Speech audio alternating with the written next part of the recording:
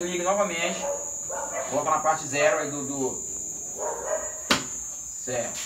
Agora eu quero que tu opere ela na parte automática. A gente ainda não mexeu né? na parte de força, bem entendido. A gente ainda está na parte do comando ainda, vendo o que está acontecendo com o comando, está corretamente. Agora vamos no automático. Vamos lá. Certo. Agora eu, pego- eu quero que tu pegue a boia superior. A boia da caixa de cima, da, da caixa de cima, a boia superior. Certo. Deixa a boia lá. Boia superior. Agora faz um movimento nela aí de, de, de ligar a caixa aí, bora ver se funciona. Certo, de ligar. Por que, que tá desligado, criança? Porque a caixa encheu, né? Mostra o nome pra ele da boia. Que eu botei, ó, o nomezinho, ó. Boia superior. É a caixa de cima. Beleza?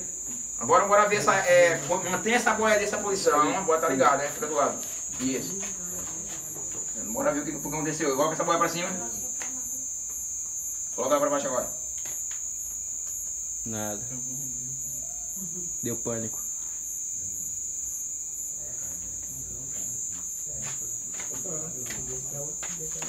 É, eu falei assim, ó. Não, mas vocês estão aí com comando, e o dele é ligado lá. Tá. Coloca ela pra cima, deixa ela pra cima. Deixa ela pra cima. Eu, Wendel, tua, tua, tua, tua bomba. Eu, Wendel, tua bomba tá cheia, não tá? Tá. Então não vai, não vai, não vai usar. Agora tu faz aí, bota, bota, joga pra baixo. Um. Depois, criança, que a analogia ela não é fácil. Vocês estão usando, olha, vocês estão usando duas boias. A analogia ela não é fácil, eu sei disso.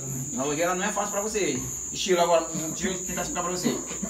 A, a, a boia do meu amigo aqui, ó, ela tá demonstrando. Segura, pode segurar.